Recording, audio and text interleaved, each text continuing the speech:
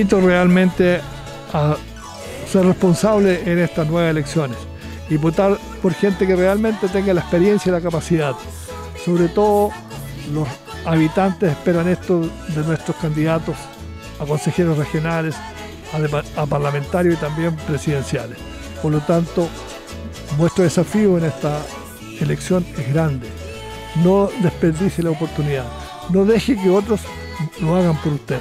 Usted realmente tiene el poder para decidir el futuro de su país y sobre todo de su provincia. Colchagua vive y vivirá siempre en sus tradiciones.